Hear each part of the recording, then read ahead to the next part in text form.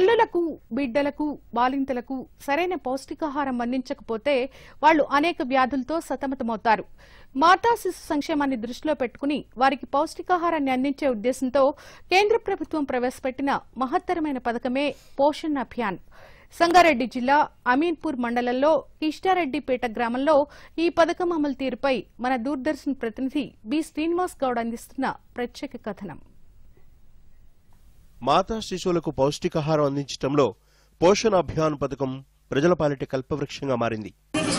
కృష్ణగిరిపేట second centre ఇది.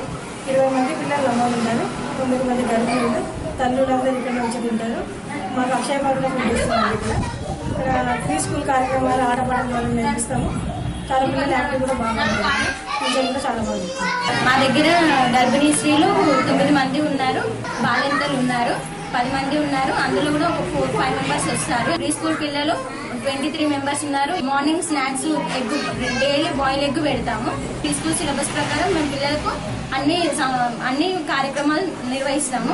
మధ్యాహ్నం పన్నెండు తర్వాత మేము భోజనం వచ్చేసి వన్ నుంచి టూ థర్టీ వరకు స్లీపింగ్ టైం ఉంటుంది. పిల్లలకు పాటలు పెట్టిస్తాము ఎఫ్ఎం ఉంటుంది. వాళ్ళకి యాక్టివిటీస్ అన్ని మేము రోజు కార్యక్రమంలో యాక్టివిటీస్ బాగా చేయిస్తాము.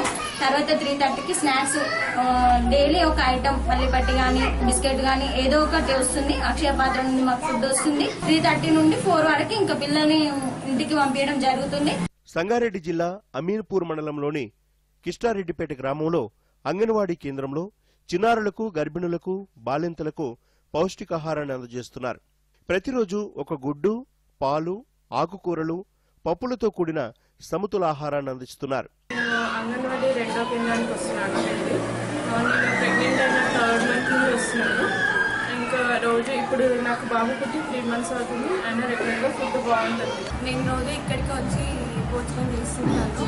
అండ్ నేను ఇప్పుడు సెవెంత్ మంత్ ప్రెగ్నెంట్ అనమాట అండ్ ఇంకా ఇక్కడ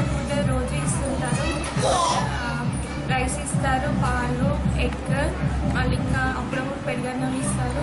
ఇంకా రైస్ అనేది కిచ్డీ అన్నం అనమాట వెజిటేబుల్స్ అన్ని క్యారెట్ బీన్స్ అలా ఇస్తారనమాట ఇంకా పప్పు అన్నం ఇంకా పాలు కూడా ఇస్తారు. సో చాలా బాగుంటుంది ఫుడ్. నుంచి వస్తారు మూడేళ్ళలోపు చిన్నారులకు బాలామృతంతో పాటు గుడ్లను సరఫరా చేస్తున్నారు. వారానికొకసారి చిన్నారులు మహిళల బరువును తూచి వారి ఆరోగ్యాన్ని అంచనా వేస్తున్నారు. రోజు ఇక్కడికి ఫుడ్ తినడానికి వస్తాం సార్. అయితే రోజు పప్పు అన్నం ఆ పప్పు అన్నం పెరుగు పెరుగన్నం మళ్ళీ పాలు గుడ్డు ఇస్తారు సార్ ఇక్కడ. చాలా బాగా చూసుకుంటారు. కేంద్ర ప్రభుత్వం ప్రవేశపెట్టిన ఈ పథకం వల్ల తమతో పాటు తమ పిల్లల ఆరోగ్యానికి భద్రత లభించిందని తల్లులు ఆనందాన్ని వ్యక్తం చేస్తున్నారు.